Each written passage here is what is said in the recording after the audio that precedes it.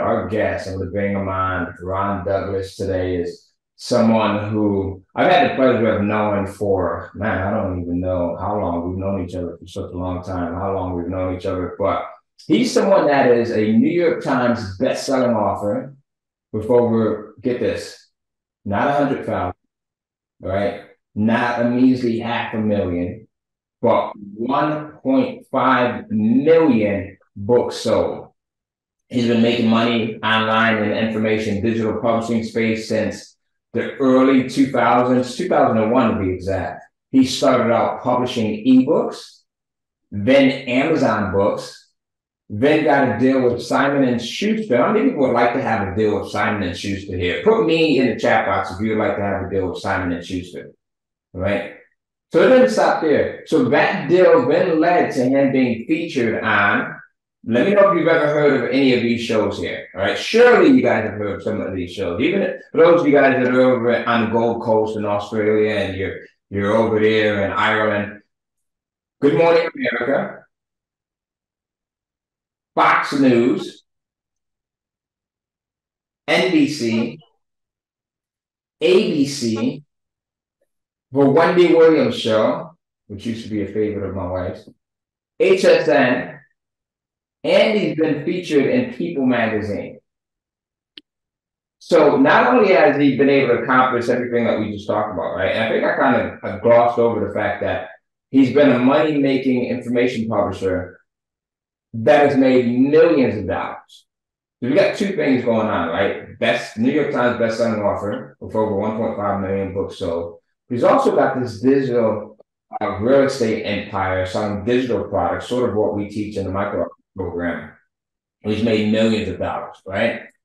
He was able to do all of that and become a multimillionaire as a stay-at-home dad of not one, but two honor roll students right? So look, this stuff is possible, even for those of us that have families, right? He's now the founder of one of my favorite conferences. I haven't been there in about a year or so, but I'm, I'm going to be a speaker at it this year. WebinarCon, the number one event for webinar marketers. With that said, Ron, man, I, I, feel like I'm missing some stuff here. I think there's a lot more that needs to be added to this. I know that you've done a lot more because look, we didn't even talk about real estate because you have a, a ton of real estate that you own as well. Yeah, yeah, I'm humbled by all that. I appreciate you having me on. I'm really just here to hear you say nice things about me because it's rare. It's rare. Like I've known you over 10 years. So I appreciate that. Did we record that? I hope we recorded. We've it. got it recorded. Yeah, we'll send it to you. Recorded. yeah. Thanks, man. I appreciate you.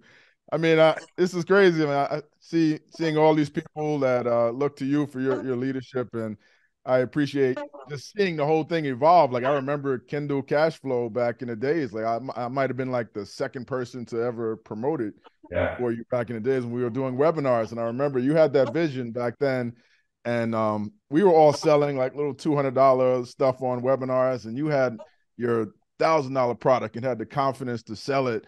And I remember you saying one thing that inspired me back then to sell higher price stuff. You were saying that. Uh, you know the reason that you guys don't feel comfortable selling the thousand dollar course and thousand dollar um, program is because you don't believe it's worth that and people can sense that whereas i fully believe the value that it's going to give people that is worth far beyond that so i can they can sense that i believe in what i'm selling and that's why i can sell it and that made a whole difference in my life actually so i never told i don't know if i ever told you that but i appreciate you for that Oh, you never did, but damn, I said that. I, I told you guys I was cocky as hell back in the day. Uh, but no, I believe. The, yeah, it was it was there, but no, it's so true, right? I think that's a good starting point because there's a lot of people that are that are entrepreneurs that have successful businesses here. There's people that are looking to start a business, and Dan Kennedy talks about this, right? I remember first getting started with marketing and reading a book by Dan Kennedy. He said one of the number one problems that most people who are in business have is pricing their product or service at a level where it should be. They're making a mistake of comparing themselves to the competition and, and going with what the competition is pricing. So it becomes this pricing war. And then the second thing is they're lacking the confidence in the actual product or service and what it could provide to the end user. So they, they, they don't go in and sell it. So the number one thing to always work on is your confidence in knowing that what I'm putting out there doesn't have to be 100% perfect because you'll never put anything out there, but it's good enough for me to justify the price that we got on charging. All right, so very cool. Um, Ron, meet my co-host Caroline, who's over in the UK. She's all the way across the pond. Hi, Ron. Caroline, Lovely nice to, meet, to meet you. Great to meet you. Awesome. Incredible, uh, incredible bio. Ty sent it to me, and then I followed you on Facebook. Um, just phenomenal how you've achieved so much in a short, you know, such a short period of time. Definitely and it's interesting how humble you are. so humble. I'm doing this since I had no gray hairs, so definitely not a, a short period of time. I, what 22 years. Yeah. So yeah, you keep grinding 22 years, short. you're gonna accomplish something. Trust me on that one. yeah, yeah. Absolutely. Hey, so look, you I don't think your goal was to be an entrepreneur initially, right? Because you um you had a you you were a stockbroker at one point, were were you not or I was a financial analyst, never a stockbroker. There you go. Analyst and uh, relation, relationship manager for uh, mutual funds and pensions, some of the bigger ones, Templeton and you know some of the Dreyfus and some of the big financial companies out there. Work for J.P. Morgan Chase, and uh, yeah, I wanted to be a uh, well, I always was an entrepreneur going back, you know, just it's just in my blood. I always sold stuff, always seized opportunities and took risks, even when I was young, and nobody ever told me to go do that. It was just in me to just, okay, I'm gonna figure out a way to to add value and make money. So I had a flea market booth back in the days in college. I had a barbershop. I was cutting hair. I, I did a bunch of stuff just trying to find my way. But what I knew was I needed money, right? So I went the corporate route to see where it would go. And um, they ended up, they paid for me to get my MBA. They paid for me to become a chartered financial analyst. So I was like heavy on uh, Wall Street and saw that maybe it was an opportunity. Eventually, I wanted to start my own hedge fund back in the days. And um, I discovered internet marketing in 2001. And I was like, well, no, this is what I want to do. So I kind of left my corporate uh, goals behind and, and just focused on that. But I'm grateful for uh, JP Morgan Chase. It's where I met my wife, you know, where so many things happen. It's where I got a good foundation on personal finance and investing and just interacting with, with people there that were affluent and wealthy and doing big things. So I appreciate that. I like to say that my combination of learning online marketing early on, you know, and we we both learned from the same people, you know, like Warrior Forum and Dan Kennedy and the same teachings, and also learning finance on Wall Street made a good combination of being able to make money and being able to keep that money. So I'm really uh, grateful for those two experiences. Yeah, being able to keep it is is just as important, if not more important, than being able to make it, right? Because you and I, we've been in this industry long enough that we see people who have crashed and burned right? They'll come in one moment, they got the nice houses, the Lamborghinis, the great cars, and then two years later, like, what, what the hell happened to so and so? I just spoke to a guy yesterday, a guy that you know. I'm not going to say his name. Hopefully, say his name. By all means, please say his name. no, I can't say his name. And uh, so he he um he hit me up and he, he knows I do real estate and investing. And he's asking me how does he get a lien off of his house because the IRS had put a lien on his house because he has back taxes and he wants to sell his house, but he can't with that lien on it because it's not enough money to pay off the mortgage if he has to pay the lien too. Yeah. He's telling me this, right? And I start telling him like this, I don't think there's any way you can get a lien off of your house. Like nobody's gonna do that because they want to get paid, right? That the lien, the house is their collateral, so they're not gonna do that. And he was like, Oh man. So I was telling him some different options. You could keep the house, rent it out, take a equity line against it, you know, buy the buy another house with that. I was telling him some different options, and then we started talking. He said thank you, and then he asked me to speak at WebinarCon. And he's like, "Hey man, did I tell you about this? I was making millions here, and millions there. I got this webinar strategy and all that stuff." I'm like, "Didn't you just tell me that you're like in debt to the IRS and now you want to get on my stage at WebinarCon?" I just thought it was. Maybe he wants to share irony in it. He wants to share how you can go backwards in business. That's what it is. Think. That, that, yeah. Um, yeah, that's why it's. I think priding yourself. I look at I look at certain individuals like yourself, and then uh, you know I'm gonna throw myself in there as well, who have had the longevity, and there's a few reasons why you're able to do that. Number one, and this is for everyone that's listening, right? Whether you have a business already or don't have one, or you just, you know, here trying to find something, is being ethical. Right. So I truly believe in the law of karma. So being ethical in business and ethical in, in what it is that you provide to people as that product or that service that you're giving people. Because things, what goes around comes around. And then number two is just being someone that is able to stay focused for a moment. I was speaking to someone yesterday, and literally every three months or so, this person has a new idea, new business idea, and is equally as excited about all. Right, will get you excited about it as well. Um, Ron, what's been look? You've been investing in real estate forever. You've had, I know, your series of books, and I want to talk about that in just a moment, right? You've sold over you've sold over 1.5 million, I'm sure.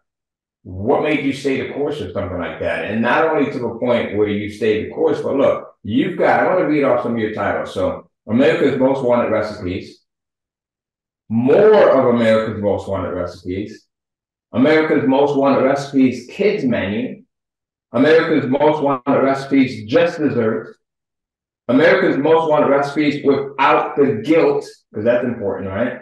America's Most Wanted Recipes at the Grill, America's Secret Recipes, one, America's Secret Recipes, two, and, and this is a combination of over 1.5 million. Most people would have stopped at America's Secret Recipes. And they said, I need to go find something else, right? What made you realize the power of just being consistent and linear in that? Yeah, I think you were an inspiration to me by you know continuing to sell the same things and conversations I've had with you actually. But you know, it's just the opportunity was there. You know, I had a customer list and just looking at it. So when I mean all this stuff, right? When people look at you, when people look at me from the outside in, and they look at the things we've amassed, the things we've accomplished, the grand scheme of things, it just seems like, wow, how did you do that? But when you are in it, you know that each step of the way, you're looking at what can I sell next? What do people want? So it's like a thing where it evolves into something big, and just by just by looking at what people want, what the next opportunity is, what's the low hanging fruit. So that was all just easy for me at the time because it's like, okay, I put this book out, it was a hit. Okay, people like this, I'll do another one and, and another one, another, and keep it going and do different themes on the same brand. It, it, the, the hard part is building a brand that people know, right? Building something that people want to buy.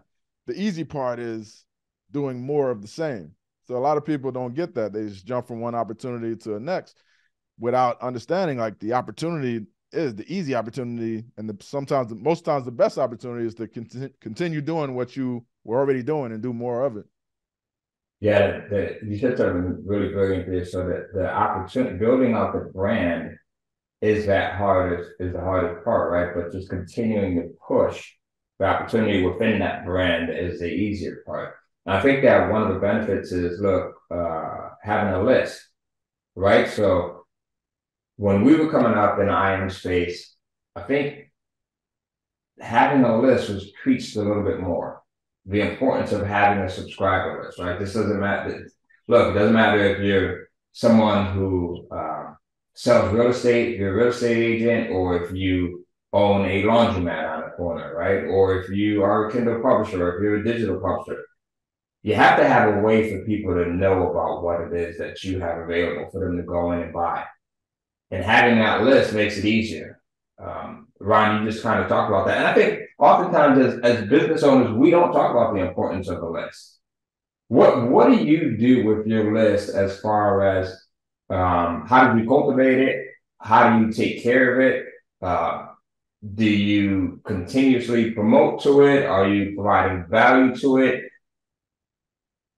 What like what's your stance on how you treat your list? Because I've got one view of how you should treat it, and I think you have a, a different view. Well, I'm curious, what what's your view on it?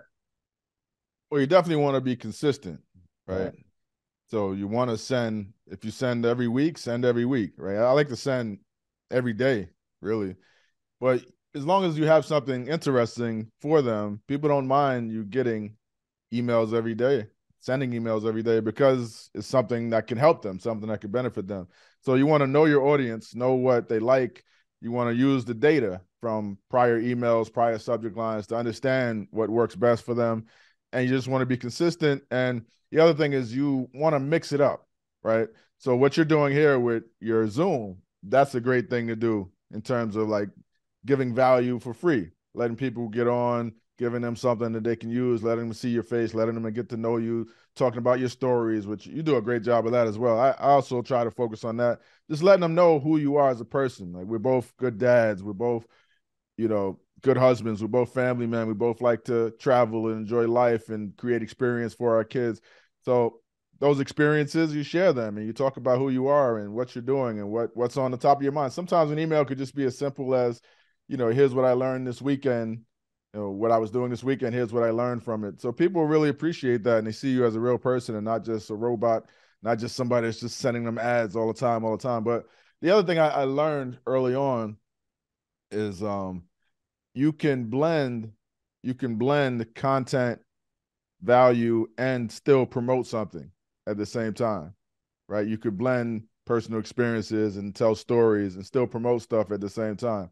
So when you learn to combine both, where you could actually monetize that, but still come across as a real person that's sharing value, then you can't lose, right? Because people are hooked. People want someone that's doing exciting things that they want to do, right? They want to follow those people. They're, they're attracted to, to those people like a magnet, right? So just being that person, stepping into that role, because the average person is afraid to step into that role and be and be the person that people are looking at as the expert, right? So people gravitate to that person, like, oh, this is guy, it's the expert. We were we were taught that early on, right? Uh, in school, you have yeah. the expert, the teacher, standing up there in front of the room, sharing stuff, t- teaching everybody, and everybody's looking to that teacher. Well, when you step into that role of that person, everybody's looking at you, and most people are afraid of the backlash or afraid what will people think or have imposter syndrome. Maybe I'm not worthy of them looking at me. But you know, when you're like us, you just know that that's what we do, right? It's what we've always done is yeah. being that expert, being that leader, being that person. And when you're that and combine all those things I just said, you know, you can't can't lose because it's just human nature. It's just consumer psychology. And you're coming at a place from contribution. You know, you're coming at, at it in terms of what can what value can I give and what can I um as opposed to it being about you you know even though you you want you're making it personal. It's just made me think about some of the training that i do in the fast pass uh, program. We we focus a lot on okay if we're emailing our readers every day because we encourage people to build like massive reader lists um how can we mix it up? How can we mix up the content so it's just not another there's the pre-order for the next book and have you read the existing book type content? And it's interesting because i always uh, you know i always find that we get tons of responses to emails when we say something really personal. So and this is you know and it's easy it's even easy to do this with a pen name so obviously you haven't got your own brand uh, uh you you know your, your face personality uh, uh, with some of the stuff that we're doing um but even so people want to find out about you know they want to see a picture of your garden many readers do. It depends on your reader group, of course, because you tailor it. But they always respond when you talk about your kids or your cake that you've made, you know, on a on a Sunday or that sort of thing. And then they just sort of see that they actually believe that person is real, even if they're a logo, you know, even if they are a a pen name. So we're always trying to look in my business at ways of sort of really mixing it up. Because I notice that when we don't do that, then we just sort of lazily just put out content same sort of content every time. We just get a ton of unsubscribers because you would wouldn't you? Just go. It's just right. uh, you just feel spammed. So um it's so so so in, that relationship is really really important. And the more personal we get the more responses we get and involving the readers as well in you know plot lines and including their pets in stories and all those sorts of things. Um so it is but it's it's often people find it uh, when they're doing sort of daily emails when they start in this sort of business the publishing business they find it quite hard. What do i you know what i know we've got ai now to help us but you know we've got to still tailor it. Um, but i think they sometimes find that hard how to mix up the content and engage their audience. So it's sort of you you get better at it with experience don't you? Don't yeah you absolutely. you know no you you you're talking from experience right now so i could tell um, listen to Carolyn, folks. So, yeah, I mean, it's just a matter of practicing it, seeing what works. And you know, you can look at your own email inbox and see what emails you opened and see why and what resonated with you. It's just human nature to, you know, you can model. Like one of the things I got really good at was modeling, modeling people that were successful, modeling people that resonated with me, you know, modeling people that were doing exciting things that I wanted to do that had that audience and and those are the things I learned from modeling. Another thing you can get really good at just looking at the data, right? Data is huge. Looking at the data and see what people what they opened, what they clicked, what made the most sales, what they found valuable, what got the most replies. You know, we could talk. We could talk about email marketing all day. That's like right in my yeah. wheelhouse. So yeah, that that would be. On. I'll let you get going, but yeah, it's it's a it's a million dollar skill that you um that you learn. And if you talk about, you know, we were talking we were talking about branding. Like every every good brand has a face of the brand, one way or another right? So if you think about all your popular brands, they all have a spokesperson or a face of that brand. So what, another thing I learned from Ty is like where certain like I have certain lists and different niches and whatnot that, that I'm not the face of. That I have someone writing it, I have someone else as the face of it. So you don't you you attract who you attract, right? But when you bring in another person to be a face of a different brand or, or a co-face or co-spokesperson for your brand, you you start to attract a whole new audience. So you know, yeah. I've done that with partnerships with uh, different people. Like right now, we're running ads to. Uh, we have a um, a webinar creation service where we are writing webinars for people, for clients, and we help them promote. So we write the webinar, we help them promote that webinar because we have a network of people that promote webinars. And um, I was uh, looking at the type of people that we're bringing in, and I'm the face of that. And we're bringing in people that you know I resonate with, I suppose. And I told Andy, is my partner, like we need you to do some ads too. So he's shooting ads now, so we could bring in a whole different audience. So he could also be a, a spokesperson. He's a partner, so you might as well put his face on it as well, and it gets us a whole different audience. So, so some of the things I think about when we talk about email and branding. Yeah, because people gravitate towards who they think they're most familiar with, who they most identify with, right? So it's it's and look, any one of you right now, if you're a man, you could go in and be a woman, meaning in face of your business, right? If you're uh if you're a Hispanic female, you can go in and be an African American male right now, right? Because you can use these identities. You can go in, it's it's a it's a pen name used in a different way. Um, I want to, I want to kind of pivot back to what we were talking about with emails really quickly, right? most people think that they don't well we were talking about incorporating your day-to-day life and your emails and, and then your messaging. Most people think well i don't have anything exciting going on in my life. How am i going to share that in my email? But to your point Ron, most people also don't have you're right they don't have many exciting things going on.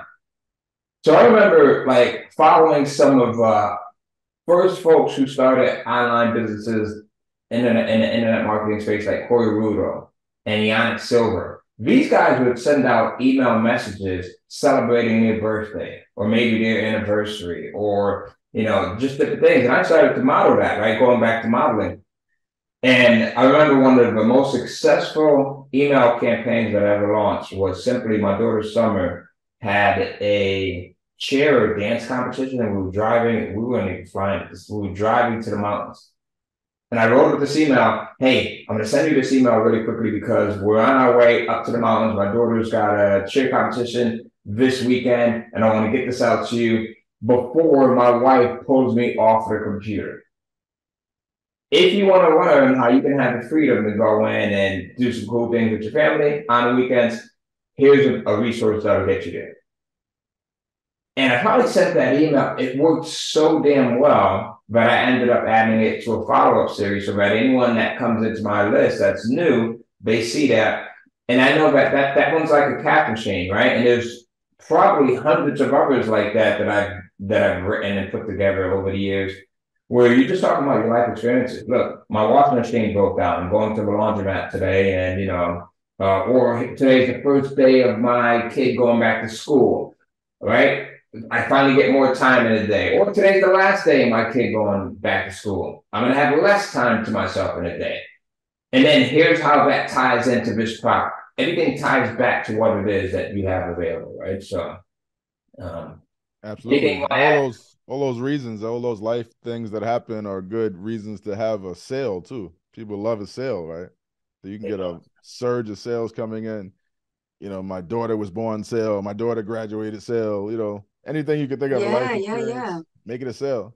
That's great. That that's more powerful than a you know a, a public holiday sale or you know Easter special or those sorts of things because it's so so personal and people just feel like they connect with you because they'll you know they'll got their own particular experiences going on. That's really powerful. I don't actually do that. Um, I'm going to do that. I, I love that. I hope everyone's making loads of notes because I am. and I and I teach this stuff in publishing. Can I ask a question? Sure. Uh, and it, if it takes us down a different road that you wanted to go on, Ty, then obviously we can we can pivot. But one of the things I was thinking as Ron was talking, you know, I did I did know a lot. I hear this a lot from people who are multimillionaires in terms of their their background, what they did when they were a kid, and you know, in terms of being an entrepreneur from an early age. Even though you decided to go through the corporate route, which was clearly a great idea, you know i always think that's great isn't it? Because you can get your i worked uh, alongside jp morgan uh, colleagues because i worked in the city for a law firm and we shared a building. So um, uh, it's an amazing company to to work with and all the better if you get your masters funded. Um, so that's one of the great things about working for in the corporate world. But when you're when you're in that when you're in that space but also when you then decided that you you wanted to sort of set up businesses of your own did how did you sort of get into the habit of thinking big um, and taking bigger risks? I, I know the obvious answer would be to me, you scale it. You're not going to take, you know, you're going to get bigger and then you, you scale taking more risks and everything. But did you ever get to a point with that? Well, first of all, how did you get into that mode of thinking? Did you like train yourself?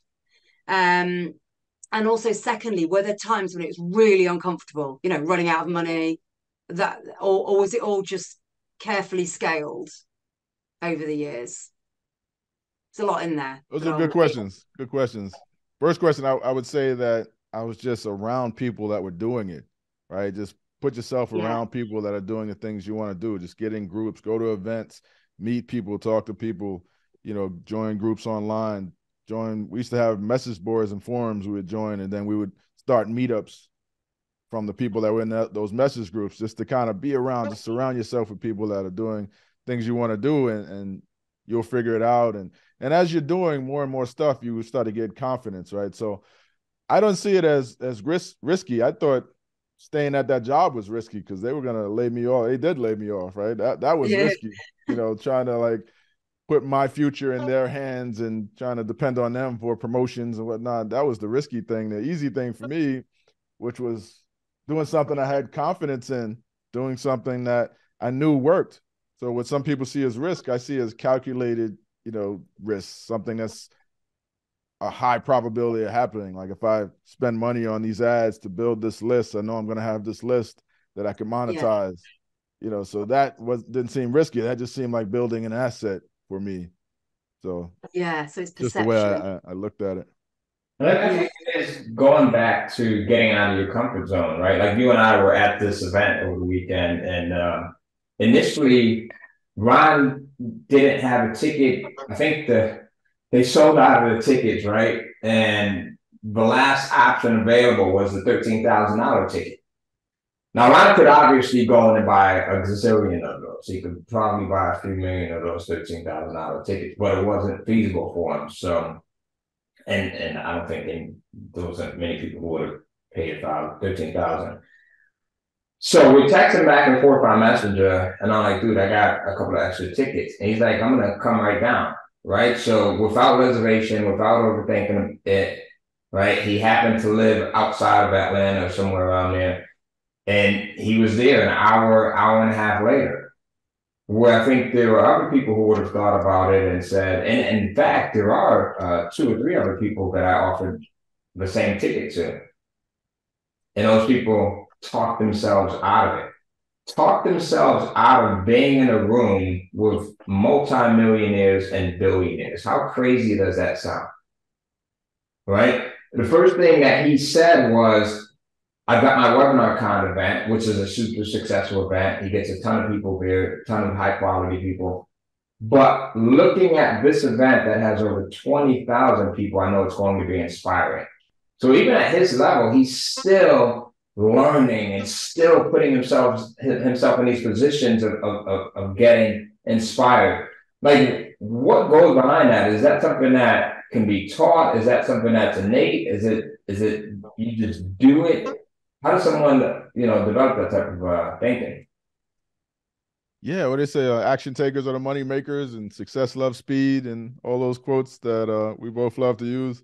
Yeah. It's so true, right? It's like, okay, I know you were there. I know I had some other friends there. I've heard of the event, and I'm like, okay, I have my event coming up. So as you said, I just want to go there, see everything that's going on, see their success, and it inspires me to think bigger. Right? Sometimes, like I was just saying, you got to be exposed to different things to show you what's possible to show you the size of the market, the size of the opportunity. And I knew that's what was going to happen by me going there. Now I'm thinking bigger, like how could we make my event bigger? How could we do some different things to make it appeal to a broader audience? So now I'm talking with my, my partners trying to figure out how to do that because of what I saw at, at InvestFest. And, you know, I knew, um, I knew one of the founders and, uh, and a, a few of the speakers. So I was like hitting them, but behind the scenes, when you told me about it, I was hitting them on Instagram trying to see if they could get me in as well. So I was going to be there one way or another.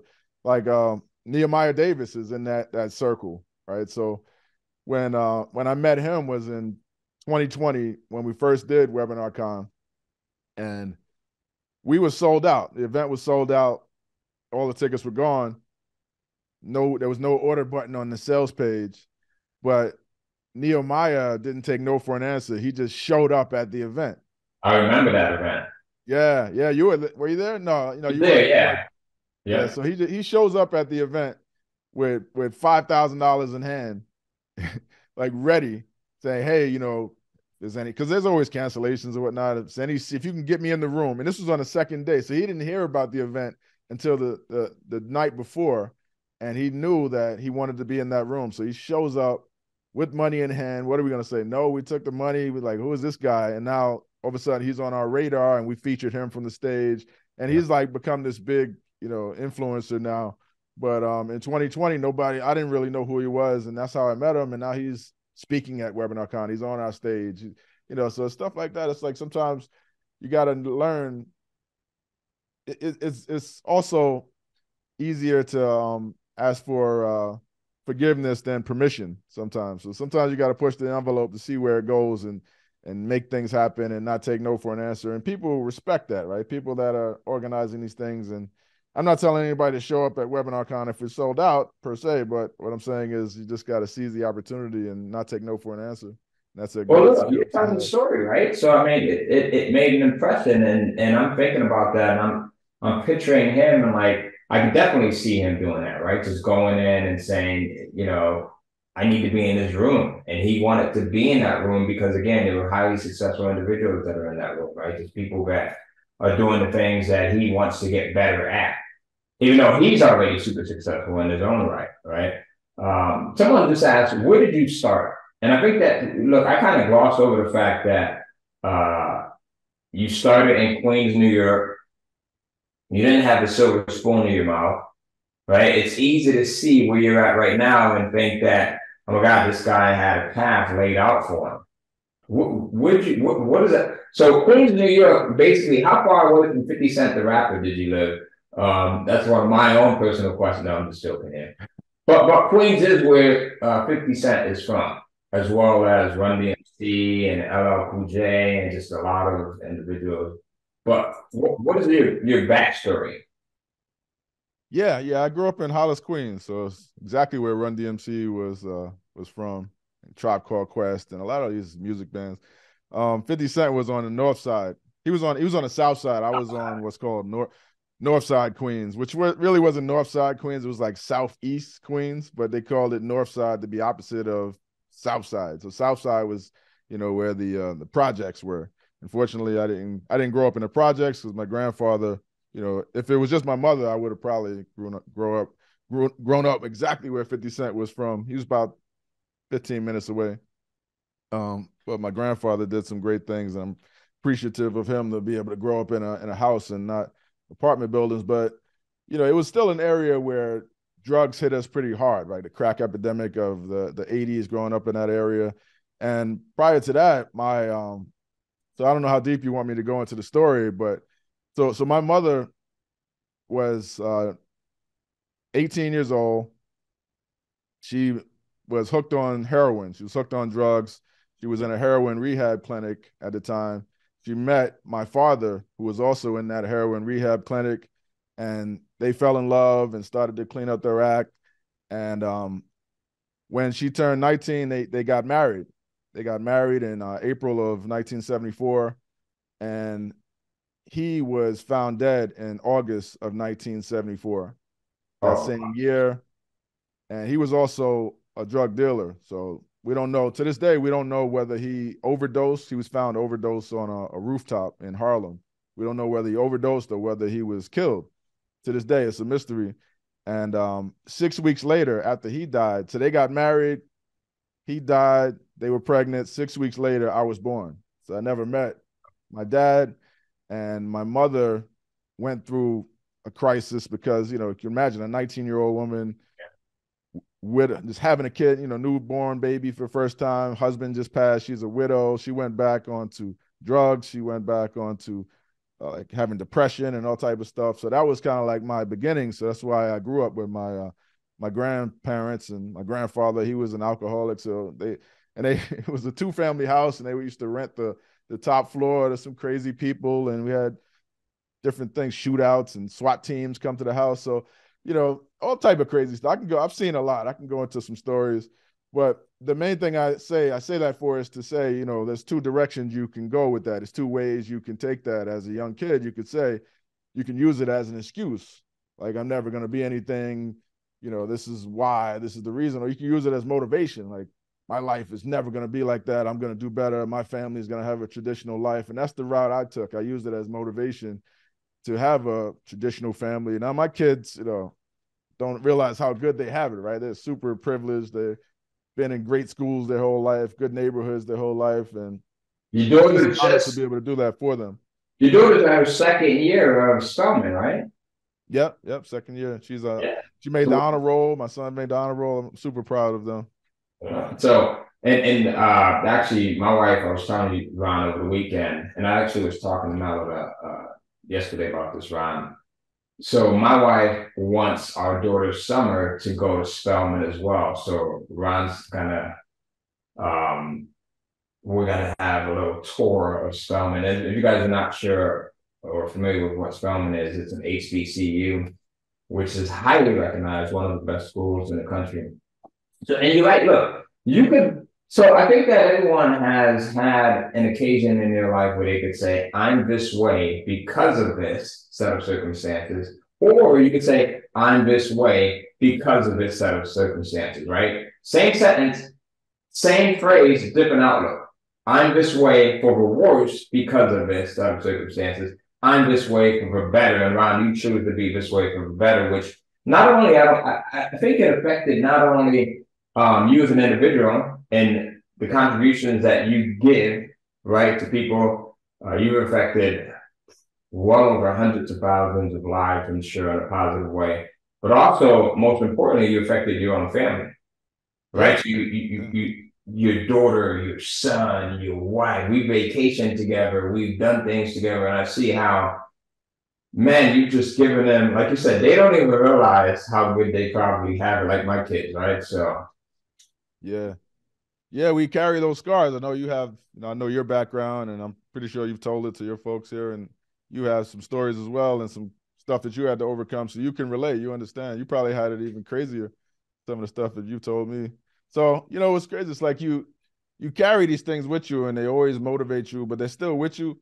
So um, I remember um my mom. She we had a rocky relationship because I was always trying to when she was on drugs, I was trying to keep the kids away from her, and and, and and uh, it was a lot of regrets, um, things I wish I would have done differently. And uh, when she passed in 2019, I spoke at her funeral, and you know I didn't realize I was carrying so much with me, and she um you know, you you think I'm like I'm Ron Douglas. I'm this New York Times best-selling author. I've, I've spoken on TV. I've spoken on stages around the world. I've you know, I, have done all this stuff. Shit. That's what we say here. I, I, was telling them last week that I walk around the house saying I'm the shit every once in a while. So you're thinking I'm Ron Douglas, I'm the shit. Right. And I get up there, man, and I, I start talking about her, and I look over and see her, and I just fall apart, man. I just start crying, and I can't contain myself, and I'm just like, like it was all just coming out. Yeah. And it was like super embarrassing, but but the same, you know, I thought it was. But at the same time, my wife told me that was the most powerful speech I ever gave. You know, my kids, I kind of said, "Hey, you know, I'm sorry. I, you know, I, you know, they never saw me cry, right?" And I said, yeah. "I'm sorry that that happened." And um, my daughter was like, "Don't worry about it. It was because you're a good person."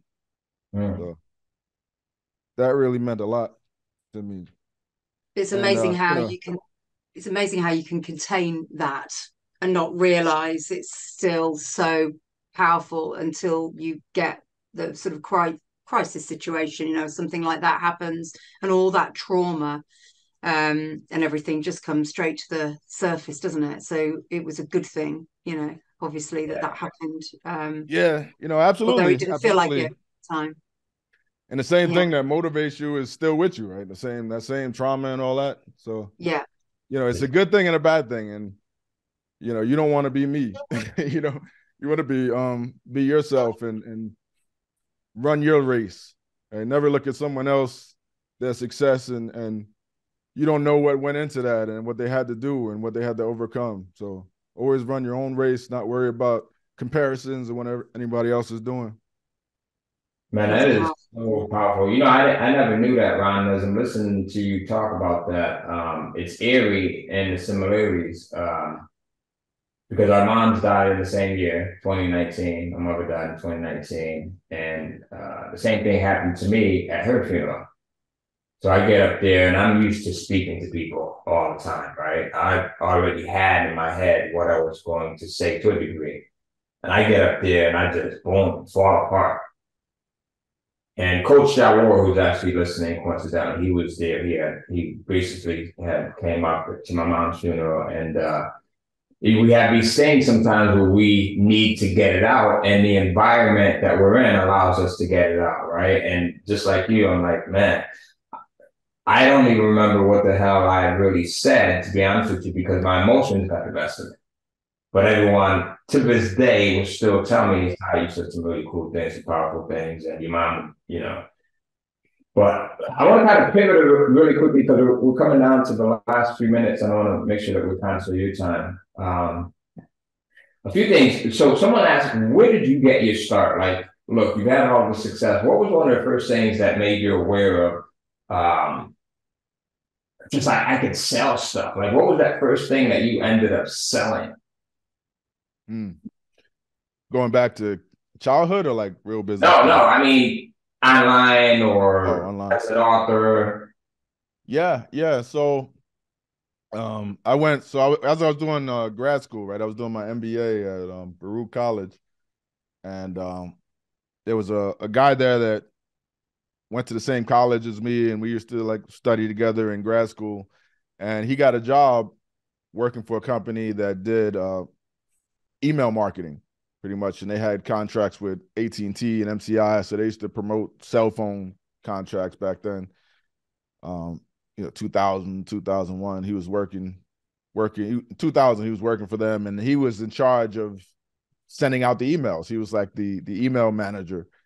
And um he told me about like what he's doing and he's like all i do is push push send and then all this money comes into the company and I just write these emails. I push send, and all. I'm like, wow, this was you know 2000. I'm like, seriously, that's all you have to do. You don't have to sell anything like personally, one on one. You don't have to, you know, meet with anybody. You don't have to, you know, do a whole thing. And he's like, no, they have this database. I send the emails. The company makes money. That's what I do. Some he's like, he was telling me sometimes.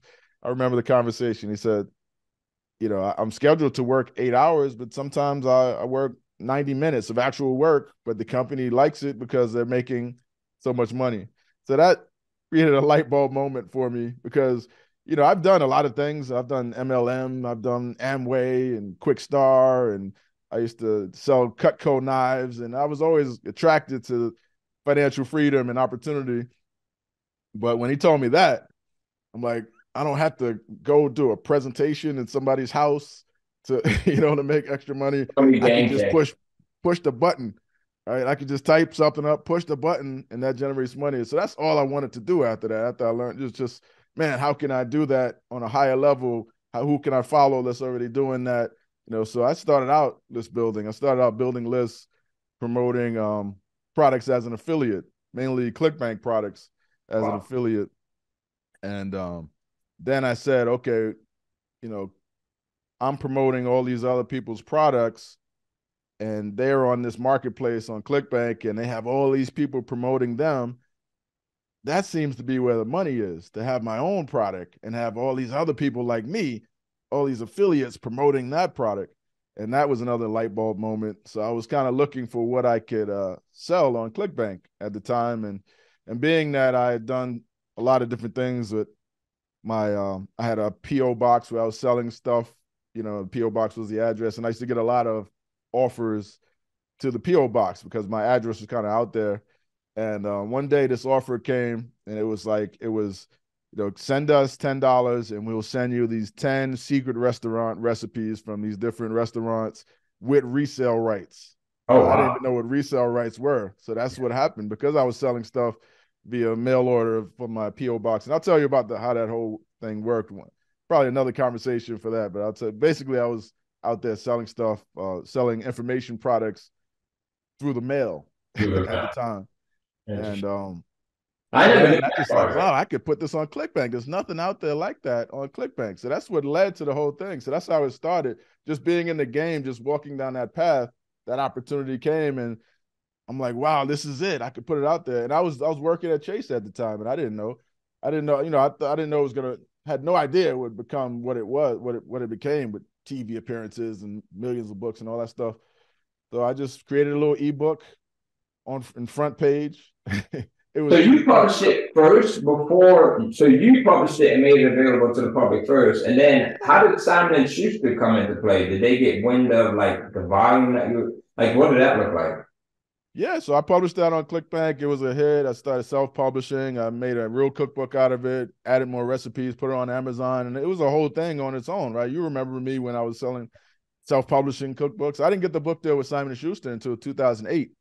So from 2002, 2003 ish to 2008, yes. I was just self publishing, right? And I had sold about 60,000 copies of, of that title and um, built a big email list. So so I met Simon and Schuster, um, the guys there, through so so I was uh so Mike Filsaime lived 35 minutes from me. He's another internet marketing guru guy, and at the time he was only the second person to have a million dollar product launch, right? In our million dollars a day. Yeah, I think was, he might have done it in four days, five days, or something like that. Yeah, but just a million dollars total. He was on. I think he was only the second person in our industry.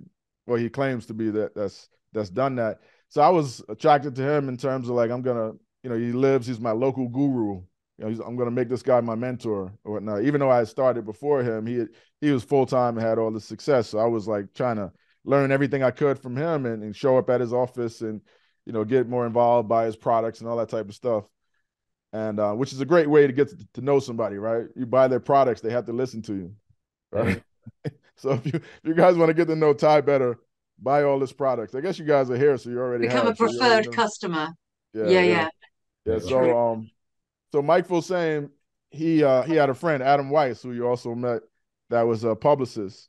So Adam was looking to get publicity for Mike, and he wanted to do a story on Mike and the success stories of people that bought Mike's products. So Mike referred him to me, and I started telling him what I have accomplished with the books and the, all that stuff. So you know, America's Most Wanted Recipes is a book about copycat restaurant recipes right? How to make your favorite dishes from Olive Garden, Red Lobster, all the chain restaurants, TGI right. Fridays, KFC. So I had a series of books about that, right? So that was like my my niche, my thing. But what was crazy about it, it was it was a niche, but it was also a mainstream thing. So it was a niche in terms of like that particular theme, but it appealed to everybody that cooked and wanted to buy cookbooks. So it was a rare thing where it was both a niche and a mainstream opportunity at the same time. So I didn't see it as a mainstream opportunity until I met Adam Weiss, until I met Tom Bill too. He told me like this is bigger than you think. So Adam started telling me like, listen, I can get you publicity for this. And first I thought he was trying to hustle me, and I thought that um, you know, like this guy just wants me to pay for his services. This wasn't about Mike at all. But no, he was serious. He was like, I can get you on TV for this. So I ended up paying him for publicity. And he had a um, so he ended up before I got the book there with Simon Schuster, he got me, he had a friend that um he he got me a, an appearance at uh, Fox Business. And I went on Fox Business with a self-published book, which is hard to do. Usually you got to have a publisher behind you. I was on there with a self-published book doing an interview and they went with the story of uh, this is right around the time I left my job. They went with the story of uh, local Long Island man leaves his job on Wall Street to pursue his passion of cooking. Right. So this is like after I got laid off in 2007. Right so they love that story. And, and, then Adam took that story, took the books, um, created a book proposal for it, and started pitching that to different book publishers. And within 90 days of them doing that, I had two offers. One was from Simon and Schuster, hundred thousand dollars to uh, do two books. So I took that offer. So then Adam also had a uh, his girlfriend worked at the New York Post, and um, they he, he, introduced her to me, and they loved the story of I cracked the code. I found the secret to KFC's uh, original chicken recipe. It was like a secret that you know, and I told them all along I didn't find a secret to it. I just have a, ver- a version of it that comes close. Right. right. They there. They sent reporters to the house. Very clever. The story. They ran with that story of uh, local uh, local man cracks the code on KFC. And Lisa's being I was job. living in New York City at the time, um, a lot of the local news stations look to the newspapers for stories right? So what can we have on our show? So they saw that story and they're like, man, let's bring him on. So I started getting all this publicity, and this, you know, I had the book there with Simon Schuster behind me, and that's how it kind of just dominoed. Milk that, milk yeah. that. Do you know when you so you were publishing these um America's um most wanted most recipes and all the different all the different very uh, all the different books that came from that so you're doing that for six years before this big big I mean, already really successful, but big, big, for people to give up multiple times, six years, right? Six yeah. years. And and how many books at this stage by uh, after six years, two thousand and eight, whatever it was? Yeah, it's so sixty thousand self-published, around sixty thousand before wow. I got the book deal. So I had an audience. That's another thing you could take from this. I had an audience. I built a platform. I had what was a low risk proposition for them because they saw like, okay, this guy, this you know, part time, he's selling these cookbooks. People want this book. So it was an easy decision. It was a slam dunk for them. And then they took it and their distribution just spread it everywhere, right? I was in all the Barnes and Nobles. I was in, you know, Scholastic book fairs. You ever go to like a book fair for your kid and it's run by Scholastic book fairs at your local school? I was in there, like You're my daughter would be showing off my book to her friends. This is my dad's book. You know, it was. And it started you know, with one with one book. When you were do when you were going through uh, with that experience and all the um, exposure that you had and all the backing that you had as well. Did you ever uh, branch into physical from that? I mean, we very much talk about online is the way to go, and I know that the the cookbooks would have been initially hardcover and paperback, whatever. So um, bookstores everywhere. Like I remember being yeah. at the airport seeing uh, your books and taking a picture. And I think I sent this was years back, and I think I might have sent it to you or something. But you know what I, um, I mean? What I mean is uh, thinking like the Ninja Foodi sort of thing at the moment. So did you then go into like physical products like cooking utensils and all that sort of stuff, or did you did you stay within the book space? Yeah, yeah. So physical products, aprons, and cooking utensils. Yeah, yeah, that's like what I'm thinking. So I had I had a big email list of that, you know, for that niche, right? So I was right. selling everything I could could think of, but none hit yeah. as big as the uh the cookbooks. It's it's you know it's really lightning in a bottle, right? You could take a lot of lessons from what I've just shared, but honestly, I wish I could do that every five years. You know, I wish I could do that the same thing again. But some of it was kind of just walking the path and opportunity came and I was just blessed with certain opportunities, like kind of like lightning in the bottle, you know, at the right time. And carefully right following the right, right people. yeah and, and and then going to the people that you needed as as much as they sort of needed you you know finding out the you know the the best people to have as a mentor and that sort of thing is key Yeah, isn't it yeah, and then it becomes sure. your network that that helps Mhm. you then move forward providing you've got the talent and the products which you had it's incredible oh my goodness It comes in so many different forms, right? Because someone had asked here, uh, Ron, are you number one, are you do you like to cook? And are you an author? Like, do you like to write? Like, and even if the answer is, and I love to, to know uh, the answers, but even if the answer is no to both of those, the talent could be getting people that love to cook and love to write, and now you're leveraging their ability to do that, right? And while they create it, you go in and publish it. So, do you like to write and do you like to cook? I'm not a chef or anything. Uh, there was one point in my life where I did like to cook a lot, but that wasn't the reason I got this book deal, and that wasn't. I can't attribute that to my success because my wife cooks better than I do. Right? I like to create things, and I like to market things, and I like to put stuff out there, and and I'm an entrepreneur. I'm you know just a hustler at heart, I guess. But there uh, you you know, no, we had people working with us. We had chefs that we hired to test the recipes. We had a big community of people. You know, we had uh like a, a message board with like 250,000 people. We had a big email list as well. So we were people were submitting recipes to us. So a lot of it was curated and outsourced. nice there you And go that's that's the message that I wanted to share there. Look, you don't have to be the expert. You could be the expert. My wife says to me, uh, this was a couple years ago, and I just got tired of doing things. I'm like, man, I want to, I want to, I gotta find my passion. She's like, you already found your passion. Your passion is in making money, right? And I was like, holy crap, she's right. But so you you just have to be the expert in that thing. Ryan says he's the expert in marketing. He's a brilliant marketer, right? He may not be the best uh, chef. He may not be the best writer, but he's he's good at getting eyeballs to this final product or whatever it may be. So um, sometimes we think Coming up that with a brand too. And- yeah, and that's it. and is prepared to hustle like crazy to do it No, he's not a hustler. He he always gets on me for working too much. Uh, no. initially hustle hustle big time Yeah, no, I used to be hustle mode, right? Until Yeah. uh but you know, I, I've slowed down a lot. I, I, like you said something this weekend, like you're you you feel the best about your life when you're in hustle mode, when you're in a state of flow. And I agree with you. I, I feel the best about myself and about my life and having the most fun when I'm in that state of flow as well. And we talked about this too. It's like you're really good at making money, but when money is the only thing that's Yeah. that's your focus, once you have it, it's like it's not the same motivation, right? There's no driver after that.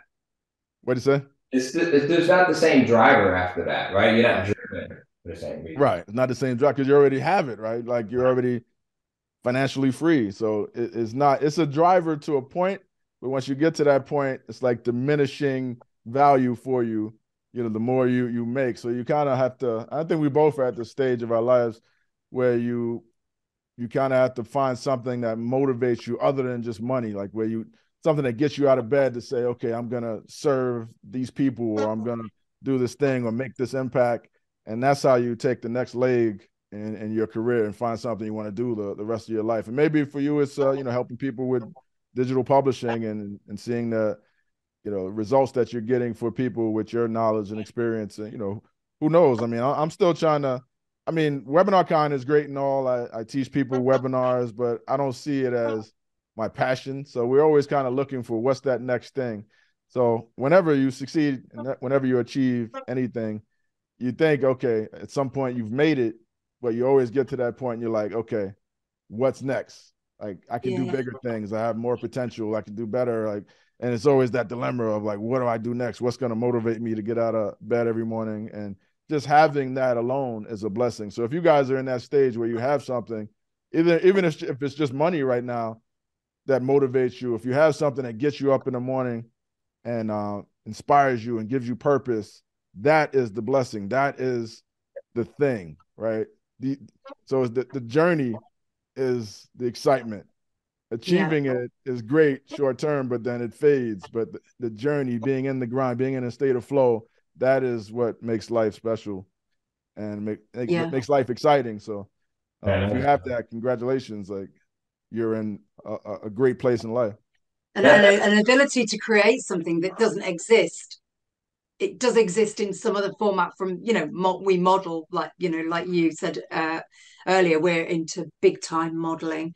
Um, but even just create uh, not even just i don't know why i keep using the word just. I've noticed i do that just. I'm going to stop doing that. Um, even launching a new pen name i was saying this is the most so exciting because it's like from scratch this thing doesn't exist so what's it going to look like? And uh, it is is fantastic because it's so creative. And you've got this okay let's get to the first 100 subscribers. Let's get to the first and it and it's just fantastic because it, it's sort of like you're you're starting all these projects that you just don't it's a different level of excitement to starting a project if you're working in maybe maybe the corporate world or whatever which can be very exciting as well um, and we've both done that but it's just that whole purpose and goal and you you know a lot of people here are driven as I am at the moment because I'm not as big as you guys in my business, but uh, driven by the making money, financial security thing. That's sort of driving me because I'm only a few years into the into the business, um, and it's great that you can serve others while you're doing that because that's essentially what it what it's about. But um, yeah, uh, but it, and it's interesting, isn't it? How you don't need to do all of that now but you still have that drive to you know how can i get better? How can i do better? How can i help more people and serve others? And that's where you often find that people come from that place of contribution. They're the most successful people on the planet yeah absolutely guys, you know? they, say someone um, asked me in the questions uh, what is my quote and i would say my favorite one is uh, you can get everything you want in life if, if you just help other people get what they want right i think that is that henry ford i believe Zig Ziglar, Zig Ziglar. Right, Zig Ziglar. Yeah, yeah, yeah, yeah, yeah. He's turning over in his grave right now, saying. yeah, it just slipped my mind. I knew that was Zig Ziglar. It's actually in my presentation. That's one of the quotes in my presentation in my uh, webinar.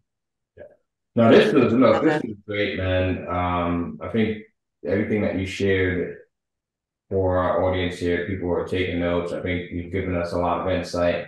We definitely had to get you back for part two because I feel like I can talk to you for a while. And you know what's crazy is Ron and I hang out uh, every so often. We haven't hung out much since the, the pandemic, but before that, we used to go on cruises and all this all types of stuff.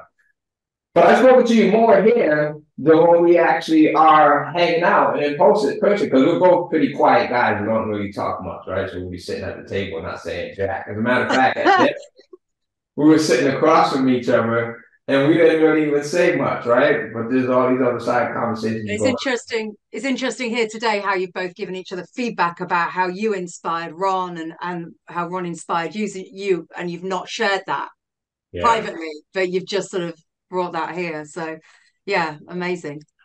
Yeah, really this is great. Uh, finding your purpose. Hey, Ron, webinar con, right? So, webinar con is for people that are running webinars right now, people that are using webinars as a marketing tool, a promotional tool. What could, if someone is watching this, because we're going to stream it outside of this as well, we'll post it a few other places. Where could they get more information on Webinar Con? Um, and then where could they find you as well? Right. Or webinarcon.com. Simple. Uh, you can go there and find all the information about the event. Uh, you can get on the email list if you want to as well. We have different uh, information we'll send you about the event and different uh, interviews where we interview some of the speakers and they'll talk about like what's working for them prior to the event. We have a pre-event party, all that type of stuff. Uh, you can find me, rondouglas.com, one S, rondouglas.com, or on Facebook or on Instagram is Mr. Ron Douglas because someone else took Ron Douglas. But you know, I'm easy to find. You can Google me and you could you could find my uh, pretty much everything you need. Yeah. And then go in and check out some of his, his recipe books. Go in and buy a couple of these things. Um, America's Most Wanted Recipes. I actually bought them back in the day because I wanted to see, you know, why everyone was buying these things. Um, so I kind of funnel hacking what you were doing there. America's Most Wanted Recipes, just desserts, America's Most Wanted Recipes, kids menus. I mean, there's something for everyone here. America's Most Wanted Recipes at the grill without the guilt. Uh, America's Secret recipes. So definitely go over to Amazon, go to your local bookstore, grab one of these things and support Ron. Um, as well, right? And let us know in the Facebook group, like what was your biggest takeaway? So you can go in and tag myself, tag Caroline, tag Ron in the Facebook group, any one of our groups. Um, you can go to any of the groups, the Michael Offers group, the KCF group, you can go to the Fast Pass group, you can go to the Traffic and Marketing Mastery group, you can go to the any of the other groups that we have and tag Ron, tag myself, let us know, tag Caroline, let us know what your biggest takeaway was. And hopefully if we get enough comments, we can guilt Ron into uh, coming back for a part two. All right. So here we go. Ron, I would love to, man. This is an honor. Thanks for having me on and appreciate this was a lot of fun. Thanks everybody for listening. All right, thanks. Thanks, thanks guys. We'll see you. Stay well. Thanks everyone.